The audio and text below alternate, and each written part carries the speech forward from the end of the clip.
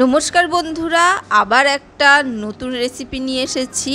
আজকে দেখতে পাচ্ছ, এটা এঁচড়ের চপ বা কাটলেট, যেটা ইচ্ছা সেটা বলতে পারো। এখন বাজারে প্রচুর এঁচড় পাওয়া যাচ্ছে।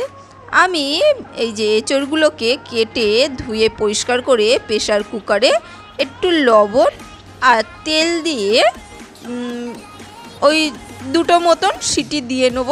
দুটো কি তিনটে সিটি দিয়ে নেবে। সেদ্ধ হয়ে যাবে। সেদ্ধ করে নিয়ে ওই এঁচড়ে চপ বা কাটলেটটা বানাবো।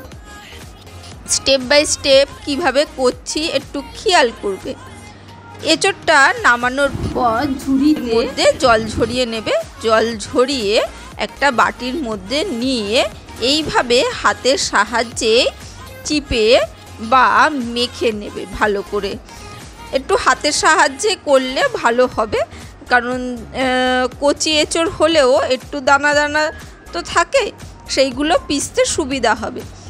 আর যে কোনো জিনিস হাত লাগালে সেই হাতের ছোঁয়ায় সেই রান্নাটা একটু অন্যরকমই হয়। এই এঁচড়ের মধ্যে একটু বাইন্ডিংয়ের জন্যে আমি একটা আলু নিয়ে নিয়েছি। তোমরা যে মানে যতটা এঁচড় থাকবে সেই হিসাবে মানে এঁচড়ের চেয়ে বেশি আলু দেবে না। শুধু বাইন্ডিংয়ের জন্যেই আলুটা দিচ্ছি। আর একটু টেস্টটাও হবে। ধরে রাখবে জিনিসটাকে, এঁচড়টাকে, সেই জন্যে আলুটা দিলাম। যতটা এঁচড় থাকবে তার এক শতাংশ আলু দেবে। আর এইটা পেঁয়াজ, রসুন, আদা আর লঙ্কা। লাল লঙ্কা, বাটা পেস্টটা আমি ওর মধ্যেই দিয়ে ভালো করে হাতের সাহায্যেই মেখে নেবে, যাতে পুরো মশলাটা এঁচড়ের সব জায়গায় পৌঁছে যায়। তার মধ্যেই একটু হলুদ গুঁড়ো দেবো, একটু অবশ্যই লবণ দেবো। লবণটা খেয়াল করেই দিতে হবে সেদ্ধর সময় দিয়েছি, তাহলেও লবণটা লাগবে, কারণ জলটা তো ঝরিয়ে নেওয়া হয়েছে। একটু জিরের গুঁড়ো দেবো, একটু ধনের গুঁড়ো আর গরম মশলা গুঁড়ো আর অল্প একটু চিনি দেবো টেস্টের জন্যে। তার সাথে একটু বেসন দিয়ে মাখবো। তোমরা বেসনটা পরেও মাখ মানে দিতে পারো। এই এঁচড়ের সাথে ওই মশলাটা ভালো করে মাখার পর যে মশলাগুলো দিলাম শুকনো সেই মশলাগুলো ভালো করে মাখার পরও মানে বেসনটা তোমরা দিতে পারো। আবার যারা আহ, এইসব করতে পটু তারা কিন্তু বেসনটা দিয়েই দিতে পারবে।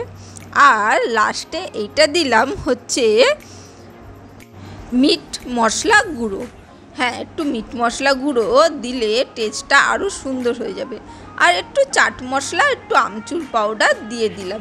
যে কোনো চপ বা কাটলেটের ক্ষেত্রে এই চাট মশলা, আমচুর পাউডারটা দিলে একটু দোকানের মতন স্বাদ আসে। আর যেহেতু মিট মশলা দিয়েছি, এঁচড়ের স্বাদটা আরও দ্বিগুণ বাড়িয়ে দেবে। দেখলে শেপগুলো তৈরি করে নিয়েছি আর আমি সব সময় জানো কর্নফ্লেক্সগুলোকেই গুঁড়ো করে ওই বিস্কুটের গুঁড়োর বদলে এই গুঁড়োগুলো ব্যবহার করি। কারণ এটা রেখে দিতে সুবিধা হয় আর পোকাও ধরে না। আর যখন ইচ্ছা হয় গুঁড়ো করে নিই গুঁড়ো করে ইউজ করে নিই। এবারে এই কাটলেটের পিসগুলোকে চেপে চেপে এই কর্নফ্লেক্সের গুঁড়োর মধ্যে মাখিয়ে নেবে। আর যদি তোমাদের বিস্কুটের গুঁড়ো নিতে ইচ্ছে করো, বিস্কুটের গুঁড়োও তোমরা ইউজ করতে পারো। আমি কর্নফ্লেক্সটা রেখে দিই, ওই যে পোকা ধরে না, সেই জন্যে। এটা অনেক দিন থাকে কর্নফ্লেক্সগুলো। ভালো করে কোট করে নিয়ে, কোনো ডবল কোটটার দরকার নেই, কারণ ওটা শুকনো হয়েই গেছিল। একবার করে ওরকম চিপে চিপে এই একটু গরম তেলে ডুবো কি আধ ডুবো তেলেই। আর কেউ যদি স্যালো ফ্রাই করতে চাও, স্যালো ফ্রাইও করতে পারো। আর যারা একটু মানে ভাজাভুজি খেতে পারো, তারা পুরো ডুবো তেলে না হলেও এই সামান্য আধ ডুবো তেলেও ভেজে নিতে পারবে। আর যেমন ভাজতে হয় দু পিঠে উল্টে পাল্টে যেরকম ভেজে তুলতে হয়, সেই রকম ভাজার কথা আর কি বলব। এইভাবে আলাদা জায়গায় আগে তুলে নেবে, তারপরে সার্ভিংয়ের প্লেটটা তৈরি করবে। যেভাবে ইচ্ছা তোমরা সেইভাবে সার্ভ করবে। অবশ্যই খাবারটা একটু ভালো করে সার্ভ করে দিলে বাচ্চা হোক, বড় হোক, বাড়িতে সবাই খেতে ভালো লাগে। সেই জন্য আর ভালো লাগলে লাইক করো, কমেন্ট করে জানিও।